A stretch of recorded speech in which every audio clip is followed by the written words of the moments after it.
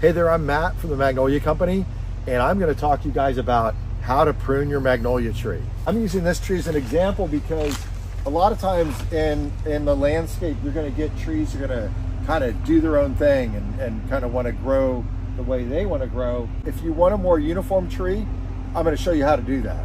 And on this one, you can see I've got a lot of height to it and I'm pretty sparse in the middle here. So when I prune these, these heavy top branches, all that energy is going to be pushed down into these lower in these lower branches. The buds that are not pruned will eventually become thicker and the tree will just become a little bit more dense. A lot of that energy would have gone through that tip, but by controlling those big tips there, we're gonna push a lot of this energy into these lower branches.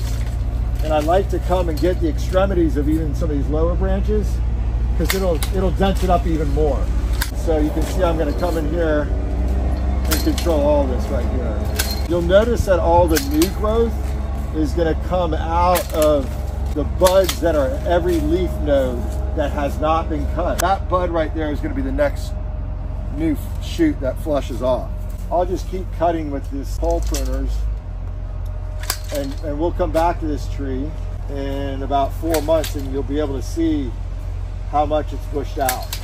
So you can see how I'm cutting all these growing points, these growing tips, and that's gonna force energy out into these lower buds. And that's how I'm gonna dense this tree up into, into more of a topiary form. What was tall and gangly in the beginning will turn into a nice, dense, uniform looking tree after this next spring flush.